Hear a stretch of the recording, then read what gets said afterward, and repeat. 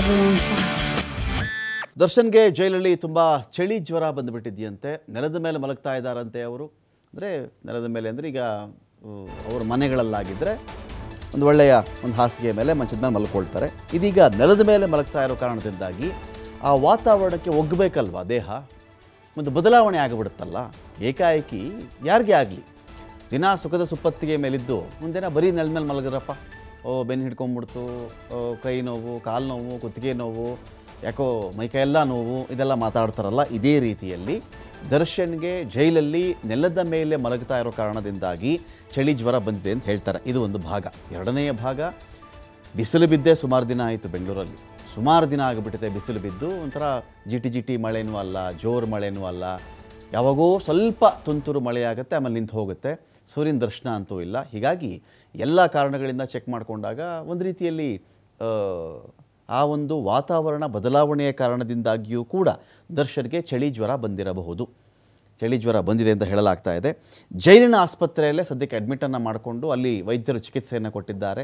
ದರ್ಶನ್ಗೆ ಜ್ವರ ಬಂದಿರೋ ಕಾರಣದಿಂದಾಗಿ ಕಳೆದ ಮೂರು ದಿನಗಳಿಂದ ದರ್ಶನ್ಗೆ ಜ್ವರ ಇದೆ ಅಂತ ಮಾಹಿತಿ ಇದೆ. ಬಿಟ್ಟು ಬಿಟ್ಟು ಜ್ವರ ಬರ್ತಾ ಇರೋ ಕಾರಣದಿಂದಾಗಿ ಜೈಲು ಆಸ್ಪತ್ರೆಯಲ್ಲಿಯೇ ಚಿಕಿತ್ಸೆಯನ್ನು ಮುಂದುವರಿಸಲಾಗಿದೆ. ವೆದರ್ ಚೇಂಜ್ ಆಯಿತು ಅಥವಾ ಹವಾಮಾನ ಬದಲಾವಣೆ ಆಯಿತು ಎನ್ನುವ ಕಾರಣದಿಂದಾಗಿ ನಟ ದರ್ಶನ್ಗೆ ಜ್ವರ ಬಂದಿರಬಹುದು ಅಂತೇಳಿ ಹೇಳಲಾಗಿದೆ.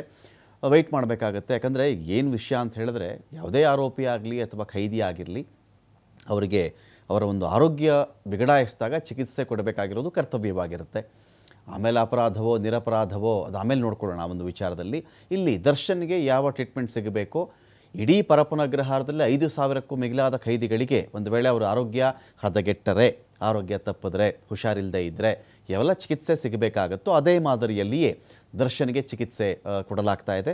ಏನಂತ ಹೇಳಿದ್ರೆ ಯೂಶ್ವಲ್ ಆಗಿ ಈ ಸೆಲೆಬ್ರಿಟಿಗಳು ಅಥವಾ ರಾಜಕಾರಣಿಗಳು ಅಕಸ್ಮಾತ್ ಅಪ್ಪಿ ತಪ್ಪಿ ಈ ಥರ ಜೈಲಿಗೆ ಹೋಗುವ ಸಂದರ್ಭ ಬಂದ ತಕ್ಷಣ ಕೆಲವೊಬ್ಬರು ನಾಟಕ ಆಡಿಬಿಡ್ತಾರೆ.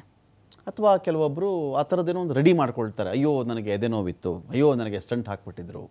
ಅಯ್ಯೋ, ನನಗೆ ತಲೆ ಸುತ್ತು. ಅಯ್ಯೋ, ನನಗೆ ಹೊಟ್ಟೆ ನೋವು ಬೆನ್ನೋವು ಈ ಥರ ಏನೋ ಹೇಳಿ ಸಾಕಷ್ಟು ವರ್ಷಗಳ ಕಾಲ ಒಂದು ಡ್ರಾಮಾ ನಡೀತಾ ಇತ್ತು. ಈ ಥರ ಹೇಳಿದ ತಕ್ಷಣ ಎಲ್ಲಿಗೆ ಬಂದು ಬಿಡ್ತಾ ಇದ್ರು ಅಂದರೆ ವಿಕ್ಟೋರಿಯಾ ಆಸ್ಪತ್ರೆಗೆ ಬಂದು ಬಿಡ್ತಾ ಇದ್ರು. ಚಿಕಿತ್ಸೆ ಇಲ್ಲೇ ಪಡ್ಕೊಳ್ತೀವಿ ನಾವು ಅಂಥೇಳಿ ಯಾರಪ್ಪ ಜೈಲಲ್ಲಿರ್ತಾರೆ ಇಲ್ಲಿ ಬಂದರೆ ನೆಂಟರೋ, ಇಷ್ಟರೋ, ಅವರೋ, ಇವರೋ ನೋಡ್ಕೊಂಡಾದರೂ ಇರಬಹುದು. ಇಲ್ಲೇ ಒಂದಿಬ್ಬರು ಪೊಲೀಸರನ್ನು ಹಾಕೋರು. ವಾರ್ಡಿಂದ ಆಚೆ ಕೂತಿರಪ್ಪ ನೀವು. ಚೆಕ್ ಮಾಡ್ಕೊಳ್ಳಿ ಅವ್ರನ್ನ ಅಂಥೇಳಿ ಒಂದು ತಿಂಗಳು, ಎರಡು ತಿಂಗಳು, ಮೂರು ತಿಂಗಳು ಇಲ್ಲೇ ಇದ್ದು ಬಿಡೋರು ಜಯದೇವಾಗೂ ಕೆಲವರು ಹೋದವರಿದ್ದಾರೆ. ಒಂದು ವಾರ, ಎರಡು ವಾರ, ಮೂರು ವಾರದವರೆಗೂ ಇದ್ದು ಒಂದು ಬೇಲ್ ಆಮೇಲೆ ಹಾಕ್ಕೊಂಡು ಬೇಲ್ ಸಿಕ್ತು ಅಂದರೆ ಹಂಗಿಂದಂಗೆ ರಿಲೀಸ್ ಆಗಿಬಿಡೋದು ಅಂತ ಪ್ಲಾನ್ ಇತ್ತು. ಆದರೆ ದರ್ಶನ್ ಯಾವತ್ತಿಗೂ ಎಲ್ಲಿಯೂ ಈ ನಾಟಕ ಆಡಲಿಲ್ಲ. ನೆವರ್ ನೀವು ಚೆಕ್ ಮಾಡಿ ಬೇಕಿದ್ರೆ ದರ್ಶನ್ ಜೈಲಿಗೆ ಹೋದ ದಿನದಿಂದಾನು ಕೂಡ ನೀವು ಚೆಕ್ ಮಾಡಬಹುದಾಗುತ್ತೆ. ಜೈಲಿಗೆ ಹೋಗಿ ನನಗೆ ಪಕ್ಕೆ ನೋವು, ಕೈ ನೋವು, ಕಾಲು ನೋವು ಈ ನಾಟಕ ಆಡಿಲ್ಲ ದರ್ಶನ್. ನೋ ಏನಿತ್ತೋ ಯಥಾಸ್ಥಿತಿಯಲ್ಲಿ ಅದನ್ನೇ ಅವರು ಅಲ್ಲಿ ಕ್ಲೈಮ್ ಮಾಡ್ಕೊಂಡು ಕೂತಿರ್ತಕ್ಕಂಥದ್ದು. ತನಗೆ ಮನೆ ಊಟ ಬೇಕಾ? ಲೀಗಲ್ಲಾಗಿ ಅರ್ಜಿಯನ್ನು ಹಾಕ್ಕೊಂಡಿದ್ದಾರೆ ಎಲ್ಲಿ ಮೊದಲು ಹಾಕಬೇಕು ಅಂತ ಪ್ರಾಬಲಿ ಅವರ ಒಂದು ವಕೀಲರು ಸರಿಯಾಗಿ ಗೈಡ್ ಮಾಡಿದ್ರೋ ಮಾಡಿಲ್ವೋ ನಮಗೆ ಗೊತ್ತಿಲ್ಲ. ಕೆಲವರು ಹೇಳ್ತಾರೆ ಅದನ್ನು ಐ ಜಿಗೆ ಹಾಕೋಬೇಕಾಗಿತ್ತು ಎಸ್ ಪಿಗೆ ಹಾಕೋಬೇಕಾಗಿತ್ತು ಅಂತ ಆಮೇಲೆ ಹೈಕೋರ್ಟ್ ಮುಂದೆ ಆ ಚರ್ಚೆಗೆ ಬಂತು. ಇಲ್ಲ ಮ್ಯಾಜಿಸ್ಟ್ರೇಟ್ ಕೋರ್ಟ್ ಮುಂದೆ ಹಾಕೊಳ್ರಪ್ಪ ಅಂತ ಹೇಳಲಾಯಿತು. ಮ್ಯಾಜಿಸ್ಟ್ರೇಟ್ ಕೋರ್ಟ್ನ ಮುಂದೆ ದರ್ಶನ್ ಪರ ವಕೀಲರಾಗಿರ್ತಕ್ಕಂಥ ರಾಘವೇಂದ್ರ ಅವರು ರೇಣುಕಾಸ್ವಾಮಿ ಪರ ವಕೀಲರು ಅಥವಾ ಸರ್ಕಾರಿ ವಕೀಲರಾಗಿರ್ತಕ್ಕಂಥ ಪ್ರಸನ್ನಕುಮಾರ್ ಪ್ರಸನ್ನ ಕುಮಾರ್ ಅವರು ಇದರ ಬಗ್ಗೆ ಒಂದು ವಾದವನ್ನು ಇಲ್ಲಿ ಮಂಡಿಸಿದ್ದಾರೆ. ಅದರ ತೀರ್ಪು ಜುಲೈ ಇಪ್ಪತ್ತೈದನೇ ತಾರೀಕಿಗೆ ಕಾಯ್ದಿರಿಸಲಾಗಿದೆ. ಇನ್ ಬಿಟ್ವೀನ್ ಎಲ್ಲಾದರೂ ಡ್ರಾಮಾ ಮಾಡೋದು, ಜೈಲಿಂದ ಆಚೆ ಬಂದುಬಿಡೋದು ವಿಕ್ಟೋರಿಯಲ್ಲಿ ಇದ್ದು ಬಿಡೋದು ಜಯದೇವಾಗ ಹೋಗ್ಬಿಡೋದು, ಈ ಕೆಲಸವನ್ನು ದರ್ಶನ್ ಯಾವತ್ತೂ ಮಾಡಿಲ್ಲ. ಇತ್ತೀಚಿನ ದಿನ ಇನ್ನೂ ಒಂದು ಬೆಳವಣಿಗೆ ನಡೆಯಿತು ಬಹಳ ಇಂಪಾರ್ಟೆಂಟ್ ಇದು. ಕೋರ್ಟ್ಗಳು ಕೂಡ ಇದನ್ನು ಅಬ್ಸರ್ವ್ ಮಾಡ್ತಾ ಇದ್ವು. ಯಾರಾದರೂ ಸೆಲೆಬ್ರಿಟಿಗಳು ಹೋದರೆ, ದೊಡ್ಡ ದೊಡ್ಡ ರಾಜಕಾರಣಿಗಳು ಹೋದರೆ ತುಂಬ ಸ್ವಲ್ಪ ದುಡ್ಡಿರೋರು, ಹಣವಂತರು ಹೋದರೆ, ಈ ನಾಟಕ ಆಡಿಕೊಂಡು ಪರಪ್ಪನಗ್ರಹಾರ ಜೈಲು ತಪ್ಪಿಸ್ಕೊಳ್ತಾ ಇದ್ರು. ಆಚೆ ಇದ್ದುಬಿಡೋರು. ಆದರೆ ಇತ್ತೀಚೆಗೆ ಕೋರ್ಟ್ಗಳೇನು ಹೇಳ್ತೀವಿ ಅಂತ ಹೇಳಿದ್ರೆ, ಓ, ಹುಷಾರಿಲ್ವೇನಪ್ಪ ನಿನಗೆ? ಏನು ಬೆನ್ನೋವಾ ಕೈ ನೋವಾ? ಕಾಲು ನೋವಾ? ಜ್ವರನ?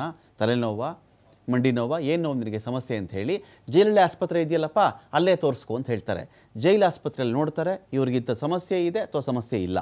ಕ್ಲಿಯರಾಗಿ ಹೇಳಿಬಿಡ್ತಾರೆ. ಹಾಗಾಗಿ ಇದೆಲ್ಲ ಇಲ್ಲೇ ವಾಸಿಯಾಗುವಂಥ ಸಮಸ್ಯೆ ಸ್ವಾಮಿ ಅಂತೇಳಿ ಅಲ್ಲೇ ಟ್ರೀಟ್ಮೆಂಟನ್ನು ಕೊಟ್ಟುಬಿಡ್ತಾರೆ ಹಾಗಾಗಿ ಜೈಲಲ್ಲೇ ಇರಬೇಕಾದಂಥ ಅನಿವಾರ್ಯತೆ ಕೂಡ ಇದೆ.